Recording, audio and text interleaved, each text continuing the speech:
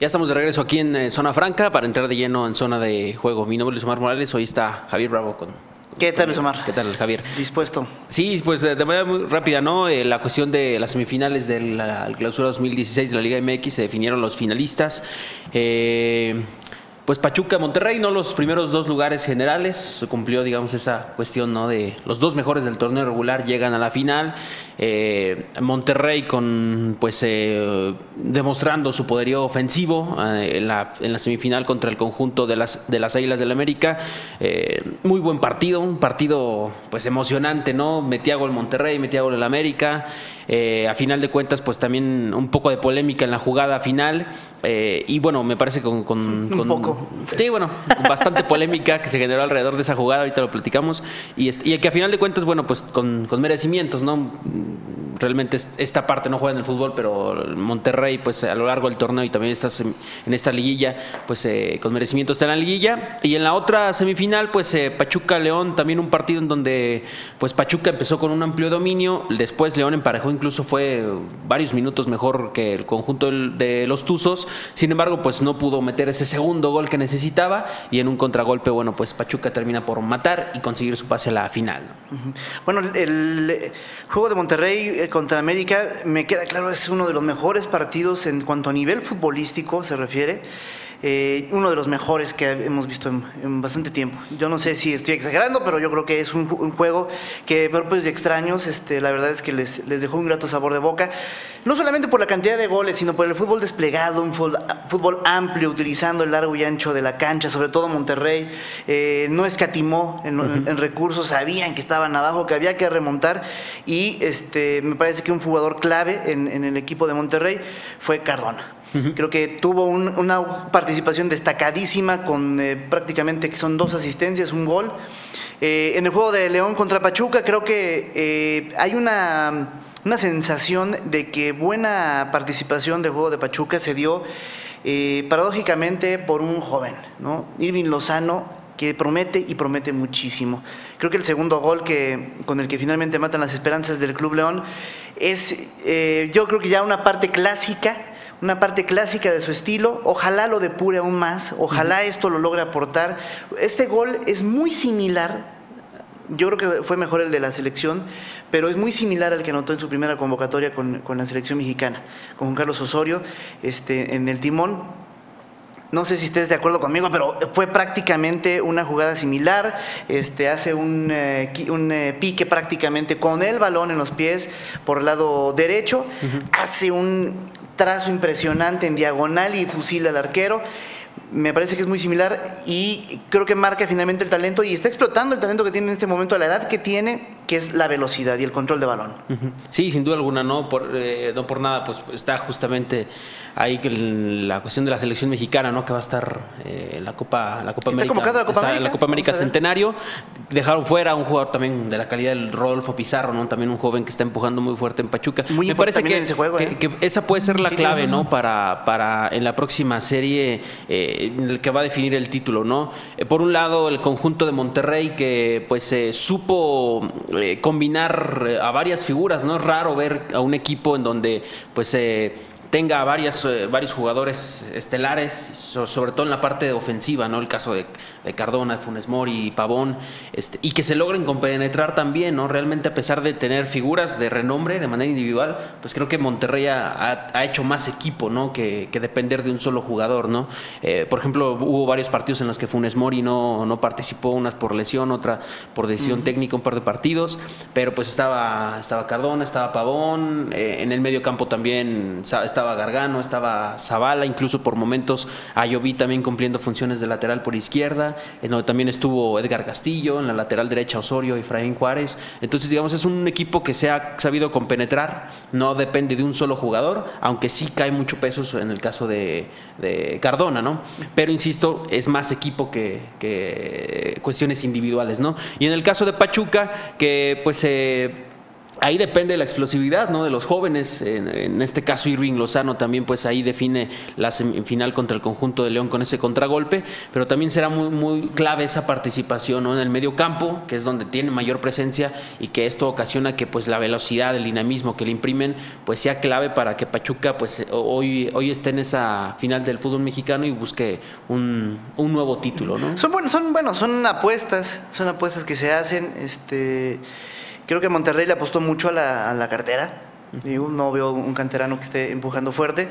Eh, pero sí es un equipo que, eh, dices, el mérito que tienen es de haber conjuntado un equipo de estrellas y poderlas hacer jugar juntas. este, pero el mérito de Pachuca es basarse en los jóvenes y que los jóvenes sean los que estén empujando este equipo. ¿no? Pizarro y, y Elvin Lozano creo que es clarísimo, tienen un papel importantísimo en la, en la máquina defensiva que tiene, máquina ofensiva, perdón, que tiene Pachuca y la hacen valer dependiendo de la estrategia del técnico. Si no es un equipo ultra ofensivo en el partido de ida, en el partido de vuelta, en ciertas circunstancias, se deciden a ir hacia adelante y tuvieron esa, esa gran participación. De hecho, hubo bastantes atajadas de, de William Jabrow, este, muy buenas atajadas, este, que finalmente se abrió el marcador y se, abrió el ostión realmente hasta el autogol que comete el, este, el, Novaretti, un vamos, tipo chanfle, ¿no? muy raro, un rebote que va de, dos jugadores en la defensa y finalmente termina en el, en el fondo de las redes bueno, es algo que pocas veces se ve, pero eso finalmente fue lo que abrió el ostión, ¿no? Porque eh, León, si bien no se veía solvente en la defensiva, pues bueno, se veía hasta cierto punto con una defensa muy férrea, ¿no? Eh, y William dándole mucha seguridad. Pero al final la máquina delantera de, Pachuca, porque eso me, parece que es una máquina prácticamente, utiliza muy bien la energía que tienen estos dos jóvenes para poder ser los pistones del ataque. Y eso yo creo que es el gran mérito que tiene ese Pachuca. Entonces vemos dos apuestas. Son dos equipos que fueron los mejores del torneo, uno le invirtió a la cantera, el otro le invirtió a los refuerzos y están ahí. Finalmente vamos a ver cuál es la apuesta que, sale adelante. El caso de Pachuca también es muy importante la labor de Eric Gutiérrez, ¿no? Este jugador que también este, ahí en el medio campo es con Jorge Hernández. Jorge Hernández, digo, él no es de la cantera, es un poco mayor, pero se ha sabido compenetrar muy bien ahí con, con Eric Gutiérrez y también él resulta fundamental, ¿no? Él también ya fue convocado a la selección mayor, no, no tuvo participación, pero y tampoco va a la Copa América, pero también es un jugador fundamental, ¿no? De hecho, él, pues Pizarro, eh, eh, Irving Lozano, Eric Gutiérrez, incluso Dan, nada más que Dan, bueno, ya está en Tigres. este, ellos salieron, pues justo cuando Pachuca perdió la final con León, ¿no? Hace un par de años, ellos eh, pues apenas iban saliendo, iban empujando, pero ya formaron parte de ese equipo, ya jugaron la final. Y bueno, pues dos años después, hoy se está viendo de nueva cuenta que está, bueno, se está, se está, viendo que rinde frutos esta situación del conjunto de Pachuca. Y bueno, pues están ahí a y un pasito no que algunos de, ellos, si no es que todos, algunos de ellos, la gran mayoría estarán también en los Juegos Olímpicos. Ya me parece que, que, Pizarro es elegible, Irving estará convocado para la Copa América, pero nada quita, y sobre todo en la edad que tiene. Sobre todo Irving Lozano me parece que sí es seguro que, que, en las dos, competiciones, porque aparte pues, el cuerpo le, le, responde, ¿no? Así es, y este, pues bueno, otro ausente, pues precisamente es Elías Hernández de las, de las convocatorias, que anotó un golazo en este partido contra Pachuca. Un, severo golazo de parte de Elías Hernández, se le nota muy completo, muy preciso, muy este, lleno de energía. este, muchas veces lo, aquejaron varias lesiones, pero Elías Hernández este, y el Club León tiene en, Luis, en Elías Hernández a un puntal, a un líder en la media cancha que está muy fino en los disparos de larga distancia, de media distancia y los centros. Este, Elías Hernández es una pieza fundamental, ojalá tenga alguna convocatoria, tendría que entrar como refuerzo, ya está descartado para la Copa América, este, pero por lo menos un refuerzo para los Juegos Olímpicos no me parece que esté mal. Este, creo que puede hacer una muy buena mancuerna incluso con, eh, los delanteros que, con los que cuenta el Potro Gutiérrez, el mismo Cubo, ¿no? que puede estar por ahí participando creo que tiene muy buenas piezas. El asunto es que vimos varios jugadores elegibles en estas series, ¿no? Y eso yo creo que es importante para la selección mexicana. Sí, sí, sí. Y bueno, nada más para cerrar esa parte, pues eh, la cuestión de la serie de América Monterrey, ¿no? Que pues eh, tanto se ha hablado de si fue penal o no, si perjudicó a la América. Vamos a fondo, Luis. ya, estuvimos, platicando antes de, entrar al aire. Este, pues siento que son diversas cuestiones, ¿no? En lo personal, siento que no era un penal, por supuesto que da pie a situaciones por el hecho en la forma en la que eh, enfrenta el balón eh, Miguel Zamudio, pero al final de cuentas creo que el balón no le pega en la mano no era penal, pero fue un error arbitral, pero no siento que haya sido un error arbitral eh, descarado. Inducido. Inducido, exactamente. Qué bueno que ya aprendiste algo. Eh, y sobre todo, pues que a final de cuentas, aunque sí, aunque sí influye en el marcador, porque a final de cuentas mete el gol y, y ya este, con esta situación Monterrey consigue su pase a, a la final, me parece que no, no es el causante de la eliminación del América, ¿no? Bueno, Así, es que al final de cuentas el, el marcador creo que nos dio, creo que vamos, el marcador fue justo. Quizás el último gol viene producto de esta jugada tan polémica, pero al final creo que es un error, como tú dices, que no está inducido porque ni la postura de que tenía el árbitro es, digamos, la 100% eh, correcta, la, la- que hubiera quizás dirimido toda esta polémica, pero sí hay una intencionalidad de obstruir el paso del balón. Y ese elemento, si, él, si partimos de la idea de que él ve que el rebote llegó a la mano, ¿no? o que se está este, haciendo contacto con la mano, si partimos de esa idea, él ya está seguro de eso, pero lo que viene es evaluar la intencionalidad, y la intencionalidad es creo que manifiesta, o sea, él, él se lanza por el balón. ¿no? Quizás su intención no era pegarle con lo que le pegó, quizás era con la cabeza, era con el torso, era con alguna otra parte. No, pues, eh, Pero el movimiento del brazo, el movimiento del brazo creo que fue crucial para reforzar la idea de que fue una mano prácticamente intencional. Y luego si le sumas dónde fue, fue prácticamente en los linderos del área chica, en las condiciones en las que se hizo el, lanzamiento, pues bueno, eso refuerza completamente la idea que, tiene, que, que- que tenía el árbitro. Entonces las quejas que vienen posteriormente del América me parecen completamente infundadas. Están en su derecho de reclamar lo que quieran. Pero ya reclamar sobre una, una jugada tan futbolera, en la que muchas veces ellos y otros equipos se han visto beneficiados, yo creo que ya es un despropósito, ¿no? Yo, siento, creo que coincidimos en la cuestión de que no es penal, no era penal. Tú señalas que bueno, tenía los argumentos. Yo creo que sí es una jugada polémica. Por supuesto que el ojo humano de repente, pues por lo rápido de la jugada, precisamente por la ubicación. eh, aunque yo, yo creo que Roberto, eh, que Roberto García Orozco sí tenía la visión necesaria como para observar que eh, pues el balón no le había pegado en la mano. Siempre que interfiera el, jugador creo que entre el árbitro y el balón, no van a tener una posición 100% efectiva. En pocas palabras, yo creo que no era penal. El árbitro obviamente lo, lo marcó, ¿no? Esta situación. Pero bueno, a final de cuentas, eh, no, no, no siento que haya sido el causante de, de la eliminación del América, pero sí es un error arbitral. Y bueno, la cuestión de los reclamos, pues creo que están. Creo que América tiene todo su derecho de reclamar. Sí, pero También no tiene condenar los al árbitro. argumentos. Pero no condenar al árbitro, Luis. O sea, Claro que tú sí, puedes, pues, tú es- puedes este, ¿quién cometió el error? No, bueno, pero no puedes, no puedes tú presentar una queja formal en un hecho concreto, que eso es lo que yo digo, están en su derecho, pero no tiene derecho ni Ricardo Peláez, ni Nacho Ambriz, ninguno de los jugadores de prejuzgar al árbitro y decir se, le- se nos perjudicó intencionalmente. ¿No? O decir, bueno, es que el Monterrey y es que también hay una, hay una actitud este, finalmente de inducir, vamos, eso realmente ni le queda al América y es completamente desproporcionado. ¿Por qué Digo, no le- no se por qué puede... no le queda al América? No le queda al América, ¿Por qué? no le queda al América, por Dios. ¿Por qué? Vamos a esperar fi- finalmente los comentarios en, en nuestras redes sociales. El América es un presunto culpable donde se pare. Entonces no eso, sé, eso no. creo que eso creo que no podemos dejarlo de lado eh, y finalmente vamos, y nos vamos al hecho concreto. O sea, tú puedes poner una queja formal, ahí está, que se investigue y se haga justicia y otra cosa es salir a medios y, de- y de- y despotricar con- y despotricar contra el árbitro, despotricar contra medio mundo, porque no te beneficiaron en esta ocasión los errores. Digo, sean O o sea, no que das por sean, sentado que en otras, eh, la mayor parte de las ocasiones ha sido beneficiado el América. En muchas ocasiones ha sido beneficiado el América. Y en otras tantas ha Con sido errores perjudicado, arbitrales. ¿no? Deja tú ya de otras cosas. Ha sido beneficiado. Y en otras tantas ha sido perjudicado también. ¿no? Sí, Entonces, pues sí. Porque esto es así. Claro, ¿no? yo, yo siento que sí tienen su derecho a la América de, de, de reclamar, Sí. pero no estoy diciendo que tenga razón, ¿no? Pero no de despotricar, Luis. Simplemente presentó una queja ante la No, y no podemos esperar entonces- nada más de un Ricardo Peláez que cada vez que no le se le benefician algo, que cada vez que no, no, se, no cae bien parado, despotrica contra medio mundo. Es un, tipo muy pasional, pero es presidente creo- deportivo de la América. Creo, Creo que aquí una no posición hubo tanto importante. despotricamiento, más bien fue de los jugadores.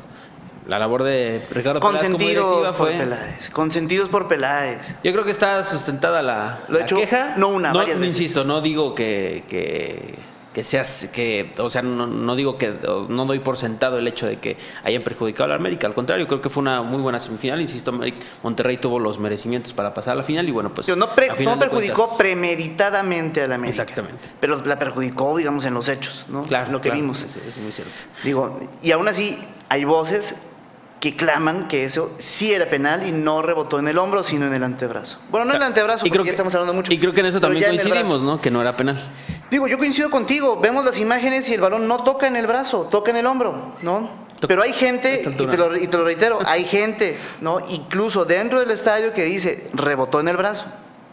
Bueno, Imagínate si esa, si esa, duda está ahí. A final de cuentas nunca nos vamos a poner de acuerdo. ¿Cómo le exigimos al, al, árbitro? No, bueno, es que puede haber acuerdos en algunas cosas, en otras no. Ah, no, Eso, es muy, muy, Y yo creo que en lo que hay mucho acuerdo con todos ellos es que la América no tiene ninguna posición para estar reclamando este tipo de cosas. No, yo no coincido en eso. ¿Ves cómo seguimos estando de desacuerdo? tú no, pero vamos a preguntarle respetable. Claro que si a final de cuentas, bueno, pues Monterrey y Pachuca no van a disputar la, la final jueves y domingo, los partidos, jueves en el Estadio Hidalgo eh, y el domingo allá en Monterrey.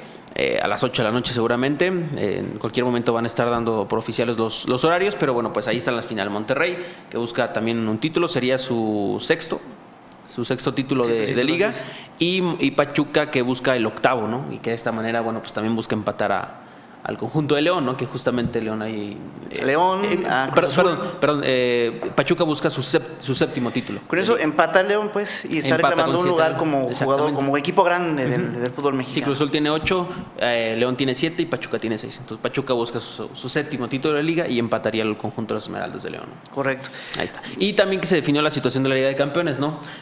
además de Pumas y Tigres, que ya jugaron la final del torneo anterior, ahora van a Monterrey y Pachuca van a la Liga de Campeones lo que, bueno, pues también significa que América no va a poder defender su campeonato en la Liga de Campeones, ¿no? América va a tener que jugar la Copa MX y, bueno, posteriormente tal vez eh, también por ahí buscar el pase a la Copa Libertad. Bueno, y no, te olvides del nuevo invitado a la Liga Mayor, el Necaxa, regresa. Por supuesto. Sí, un buen partido, ¿no? Sí, sí, sí. Eh, da gusto, ¿no? Que, equipos con amplia historia, ¿no? Regresen. Con tradición. exactamente. Nicaxa lo que tiene es un, eh, vamos, una reestructura total. Vamos, es un equipo que por, desde que se mudó a Aguascalientes tuvo que soportarse en buena medida del gobierno estatal. Cuando el gobierno estatal de pronto ya retira el, retira el apoyo y se tienen que apoyar más en el marketing que ellos puedan generar, ahí donde ya no les fue muy bien. Digo, es una, es una afición que fue poco a poco arraigándose con el equipo y el equipo con, con, con la plaza. Eh, en este momento yo creo que Necaxa tuvo una, un semestre arrollador prácticamente. Ganó la liga con muchos méritos y gana el acceso a la Liga Mayor también con muchos méritos. Un estadio hermoso que tienen ahí en Aguascalientes prácticamente enclavado en una colonia popular, en una apuesta también por acercar los espacios deportivos a la, a la sociedad. Me pareció una, una, muy buena obra. En este momento donde Nexas tiene que refrendar su permanencia, y yo creo que esa es la parte importante. Porque ya pasó, ¿no? En el Bicentenario de 2010, eh, en el 2009 descendió, asciende de nueva cuenta para el 2010 y un año después, en 2011, vuelve a descender, ¿no? O sea, ahora la labor de Necaxa va a ser esa, ¿no? Eh, pues no pasar ese episodio de nueva cuenta, de regresar al máximo circuito y a las primeras de cambio, bueno, pues volver al circuito de, ascenso, ¿no? Esa era la labor del Necaxa antes de volver a pensar en, llegar a finales, en recuperar esa esencia que tuvo en los, en los 90. Este, antes va a ser justamente pues eh, y hablando de eso, hablando de eso ya confirmaron el homenaje a Emilio Butragueño, ¿no? Sí, sí, sí, va a ser el 2 de junio, ahí en la cancha del Estadio Miguel Alemán Valdés, justamente reviviendo la final de, de la temporada 95-96, ¿no? En donde Necaxa quedó campeón por gol de visitante del conjunto de Celaya, y ahí, bueno, pues van a estar varias figuras de, del ámbito futbolístico. ¿Anunciaron precios? Y hay precios, eh, realmente los precios son los mismos, 250 pesos. Eh, los como el de un juego de Celaya. Como el de un juego de, liga, ¿no? Eh, también, bueno, para hablar un poquito de, de básquetbol, este fin de semana las Mineras de Guanajuato cerraron la temporada regular de la Liga Nacional de Baloncesto Profesional Femenil en su temporada 2016. Hubo una gira ya en eh, tanto en Guadalajara, enfrentando, en Tlaquepaque, Jalisco, mejor dicho, enfrentando al conjunto de Tapatías, y también en Tepic, Nayarit, donde se enfrentaron al conjunto de Mexcaltecas de Nayarit. Eh, un par de derrotas, eh, sin duda alguna dolorosas para el cuadro de Mieleras de Guanajuato, pero que se combina con dos derrotas también que sufrió el conjunto de Lobas de Aguascalientes. con esto, Lobas de Aguascalientes y Mieleras quedan empatados en el liderato general, 12 victorias y 4 derrotas en la tabla general, y a partir de la siguiente semana se van a comenzar los, los playoffs de, de esta, de esta liga, ¿no? Mieleras va a enfrentar al cuadro de Rieleras de Aguascalientes eh, a primero un partido en suelo hidrocálido, en el peor calificado, y después uno más en el caso del mejor ubicado, y en caso de ser necesario, bueno, pues se repite, eh, se repite el mejor ubicado, un tercer duelo, en este caso en casa de Mieleras. Eh, aquí están imágenes del partido allá en contra Tapatías, un partido en donde pues Mieleras eh, pues empezó bien el partido, sin embargo, pues eh, el conjunto de tapatías de la mano de Brisa Silva, la número 9, que pues insisto, considerada la mejor basquetbolista mexicana en, pues, en la historia, en muchos, muchos años, eh, y también del lado de la seleccionada mexicana Mónica García, pues ahí consiguieron una victoria importante, fueron más de 20 puntos, 85-70 la victoria para el cuadro de, de Tapatías, que bueno, pues con esto también llegan fuerte al, a los playoffs, ¿no? Una liga que bueno, pues ha sido un poquito complicado, ¿no? En su desarrollo, eh, lo que hemos comentado eh, en diversas ocasiones, el hecho de que las jugadoras, pues no es su actividad primordial, ¿no? Prioritaria.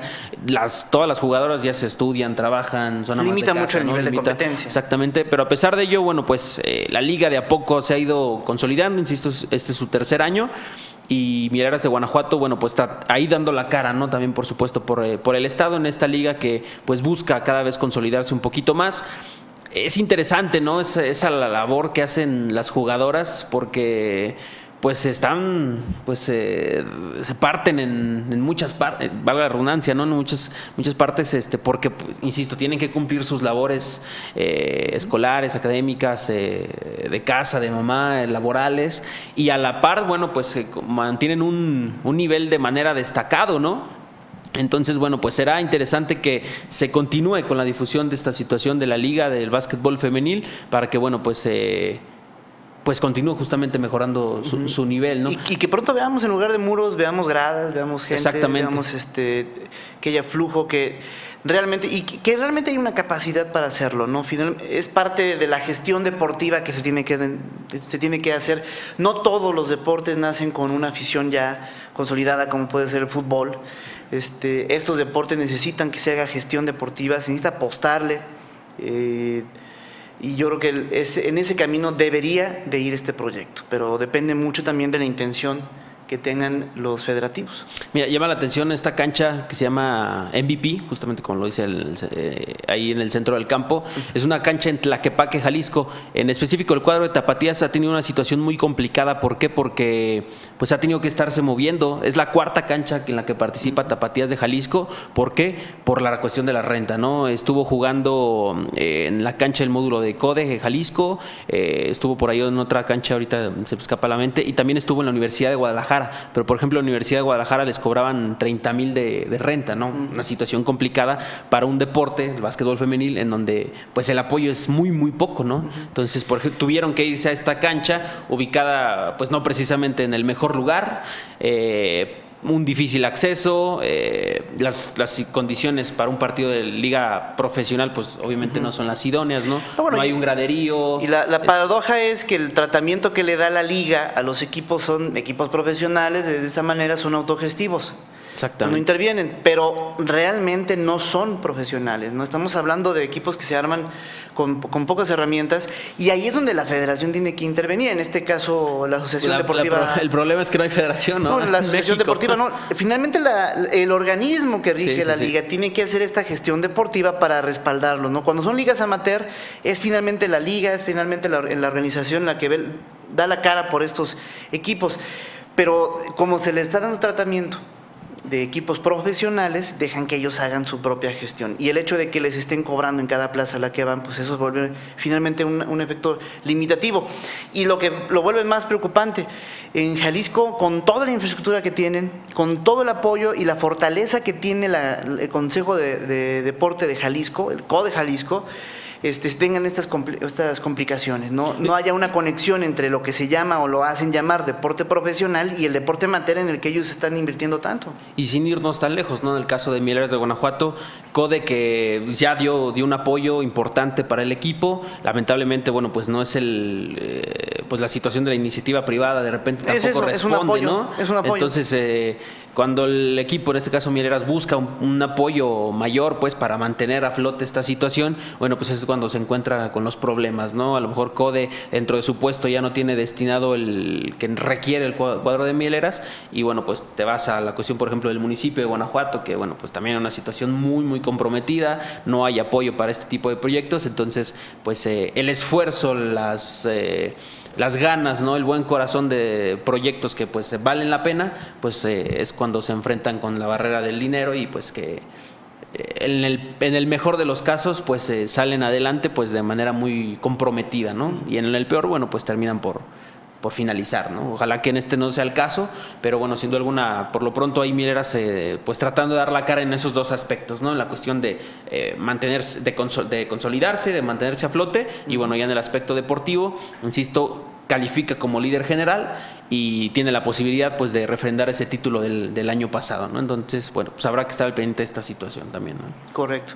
Oye, este, Nacho Prado ya... Sí, sí, sí, también la semana pasada, el fin de semana, ya lo, comentábamos, eh, la cuestión de Nacho Prado, que bueno, pues eh, ya va a estar, este, ya se definió la situación de su pase a los Juegos Olímpicos, importante porque bueno, pues es el tercer guanajuatense que ya asegura su pase a los Juegos Olímpicos. Eh, este fin de semana tuvo participación también Juan Pablo Magallanes en la disciplina de ciclismo, en el Panamericano de Ruta no le fue tan bien, quedó en el decimocuarto lugar. El año pasado Juan Pablo Magallanes ganó medalla de oro en el Panamericano que se disputó aquí en León, ahora en Táchira, Venezuela, fue decimocuarto, pero esta competencia fue más bien de fogueo, donde se va a definir la plaza olímpica en la prueba, en la prueba de ciclismo de ruta, en la, prueba de fondo, eh, va a ser eh, el próximo mes, en junio, cuando se dispute el Campeonato Nacional de, Ruta, ahí justamente Juan Pablo Magallanes va pues definir su pase, ¿no? Tiene buenas posibilidades, sin embargo, bueno, pues también tiene eh, rivales mexicanos, o el caso de Eder Freire, Eder Freire que fue cuarto lugar en el Panamericano de Ruta,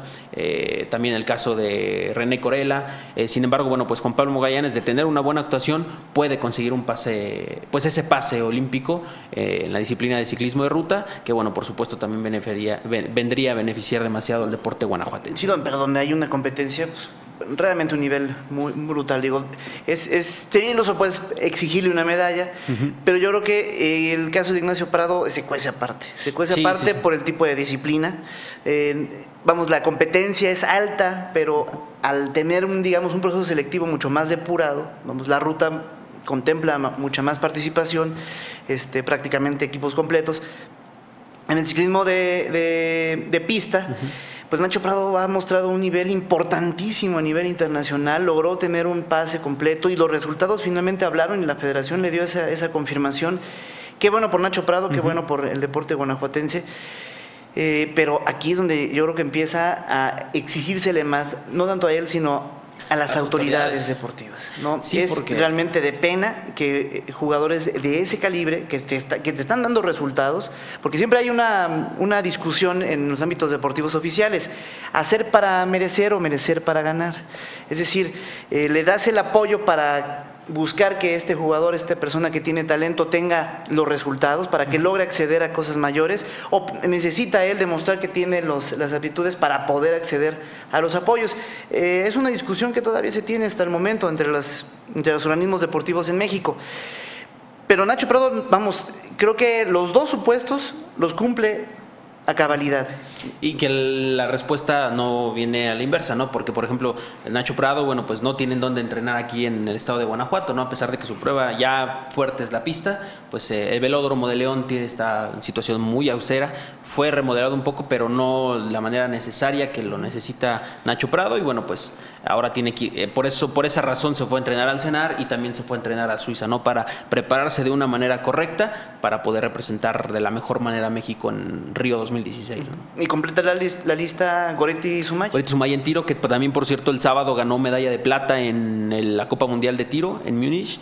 Eh, rompió el récord mundial juvenil, bueno, empató más bien con una iraní que tuvo eh, ese registro en enero, del, que, en enero de este año, pero bueno, Goretti Sumaya también importante, ¿no? Que tenga esta preparación, esta medalla de plata ahí en la Copa Mundial de Tiro, sin duda alguna le da pues una buena cara, ¿no? Para la competencia que va a ser en Río 2016 y bueno, pues por el otro lado Liliana Ibáñez, ¿no? También que tuvo una gran actuación. Ahora, la, digamos ahí la, la buena noticia pues es que consigue el pase con marca A no con marca B como lo había hecho el año, eh, en la edición La pasada de Juegos. Olímpicos. Entonces ahí pues también sin duda alguna, más allá de los pases, sin duda alguna hay muy buen, pues muy buen optimismo ¿no? en, lo- en los tres pases que se tienen hasta ahora. ¿no? Así es, pues bueno, vamos a esperar porque definitivamente son menores que en otros Juegos Olímpicos.